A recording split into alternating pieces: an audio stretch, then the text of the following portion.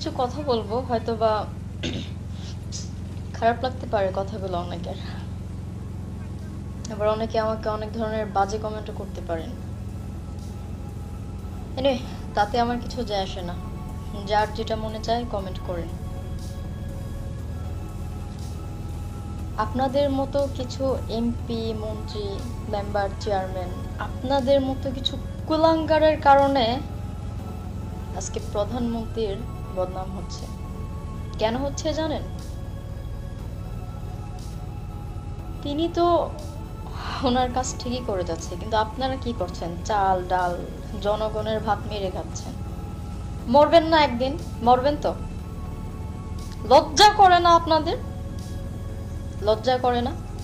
একটু আগে ফেসবুকে দেখলাম যে একটা লোক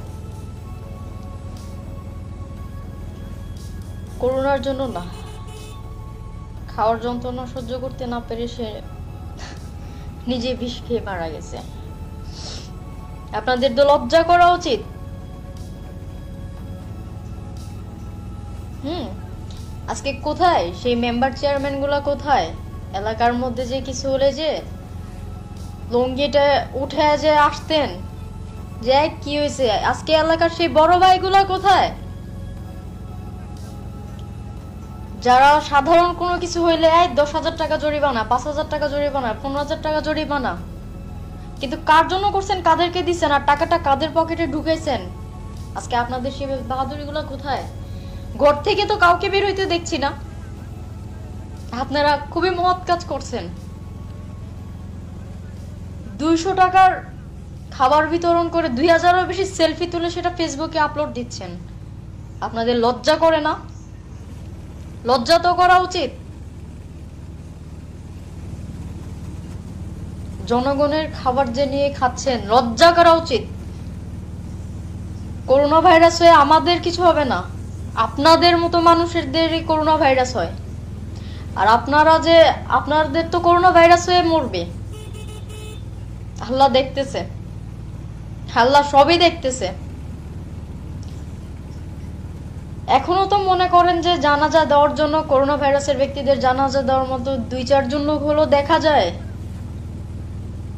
এসে মাটিতে লাশটা রেখে যায়। আর আপনাদের লাশটা কি করবে জানেন? শুয়োর কুকুররা রাস্তায় ফেলে খাবে আপনাদের লাশ। আপনাদের লজ্জা করা উচিত। আপনারা কিছু হলে বলেন যে আমরা আওয়ামী লীগের নেতা। আপনাদের লজ্জা করা উচিত। আপনাদের যেই কথাটা বলেন। জনগণের ঘরে খাবার নাই, অথচ এমপির বাসায়, মন্ত্রীর বাসায়, চেয়ারম্যানের বাসায়, মেম্বারের বাসায় ঢুকলে দেখা গেছে খাবারের অভাব নাই। নির্লজ্জ কাকে বলেন? নির্লজ্জ কাদেরকে বলেন? লজ্জা সরম আপনাদের আছে? জনগণের ভাত এভাবে মেরে খাইতেছেন, লজ্জা আপনাদের আছে? আরে যেই খাবার আপনার বউ বাচ্চাদের খাওয়াইতেছেন, হজম হবে না তো। হজম হবে না, এই খাবারের সাথে ভাইরাস ঢুকবে, এই খাবার খেয়ে আপনাদের মৃত্যু হবে। দেখতেছে আল্লাহ, মনে রাখেন। সময় আছে, ভালো হয়ে যান।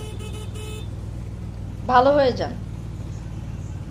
ফেসবুকে অনেক কিছু দেখতে দেখতে দেখতে দেখতে দেখতে দেখতে অনেক কিছু সহ্য করে আজকে এই কথাগুলো বললাম। কথাগুলো সবাইকে মেনশন করে বলি নাই।